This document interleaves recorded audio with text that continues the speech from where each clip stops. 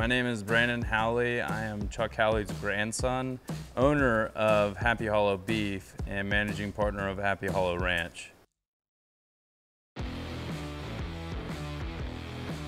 Growing up with Chuck was like living every day with your superhero. It was an amazing experience and, you know, learning from my grandfather was trial by fire. You know, he wasn't a man of many words and he wasn't the one to realistically communicate how he wanted exactly something done. You know, he, he was the type that would have you go do something, fail, and then, you know, he would teach you about that failure and, and how you can kind of pivot and make it better.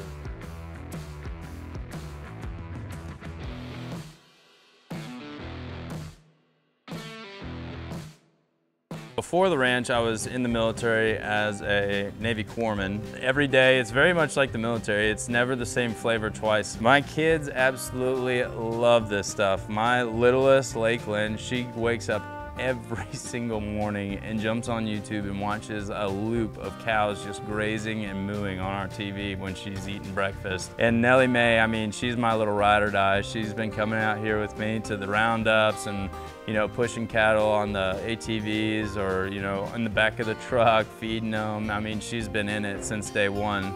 They are in love with it. My wife, you know, she's from LA County, so it's a little bit of a culture shock for her at first, I think. But the more that she got in, into this and the more that she kind of participated in the events directing side of, of the business, I think she found her niche and where she felt comfortable in participating at the ranch. I think that, you know, her idea of us running a ranch was her jumping on a horse and going out and pushing cows with us and doing that kind of stuff. And that really wasn't her cup of tea at the time. I love to say that my husband even cares about the dung beetle population because he truly does. We also make jokes that he's the flip-flop cowboy, but he is in the dirt, barefoot,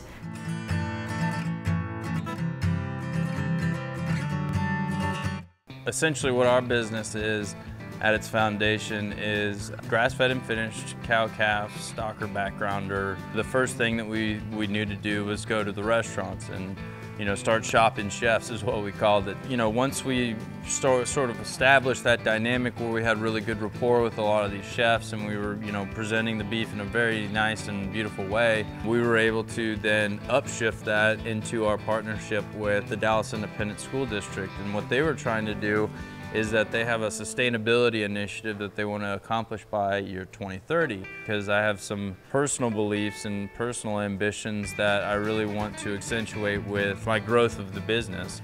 Grass-fed beef, I guess the main difference is that we don't have the, the luxury of the extra inputs to kind of compensate for, I'll call it unnatural growth or uh, forced growth.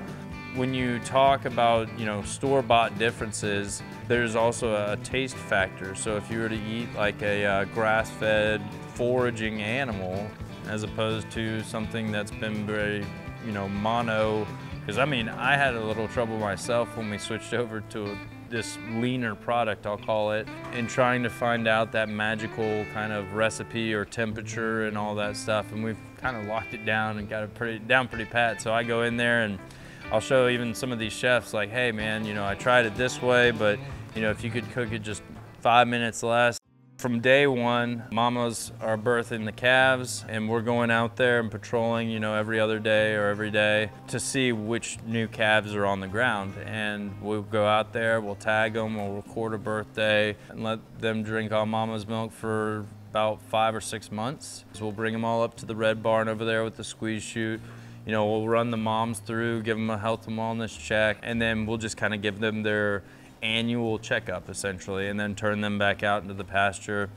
And then the babies will be up next. And the babies, essentially, what we have to do is rope them because they're going to go through their first ever like processing for the ranch. And this is where we take account of everything that we have on the ranch. So the babies will be branded with our ranch logo or with our ranch brand. They'll get a year marker on the front left shoulder as well, so it'll tell us what year they were born. Plastic tag to give them a number, and then they'll have a clipped ear for heifer or bull, and then that's pretty much it. And then get two, two vaccines. So everything goes back out with mom, so we'll separate the moms and the babies, but they'll be able to see each other still, and they can kind of like moo and caw at each other and do all that stuff. And then, you know, after a day or two, they kind of just quiet down and, you know, they calm down. Once they've calmed down, We then go in with the calves and then we separate the girls from the boys, so the heifers from the steers. And then we'll make a determination on whether or not they're gonna be put back into our breeding stock program or if we're gonna go ahead and, and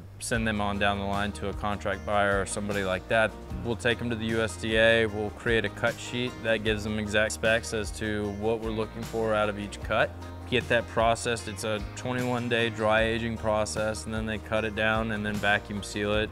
And then once they vacuum sealed it, they pack it all up into the reefer truck and then bring it over to our storefront. And that's kind of where our 10,000 pound freezer is that we keep all of our orders that get dropped off. And then we just self-distribute